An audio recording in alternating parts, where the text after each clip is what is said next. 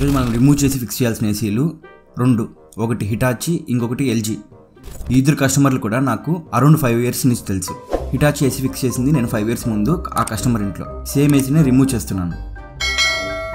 Hitachi ఏసీని remove చేసి open చేసి చూస్తే ఫుల్ డస్ట్ ఉంది. మీరు దాన్ని మిషన్ సర్వీస్ చేసుకున్నారంటే క్లియర్ అయిపోతుంది అని చెప్పి దానికి మిషన్ సర్వీస్ చేసి ఎక్కడ కావాలో ఆ ప్లేస్లో ఫిక్స్ చేసి అయితే పెట్టేశాను.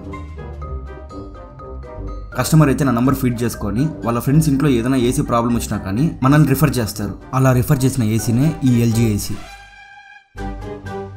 ఎల్జీ ఏసీలో రిమూవ్ చేసి ఫిక్స్ చేయడానికి అరౌండ్ నాకు one and half hour two hours దాకా టైం పట్టింది.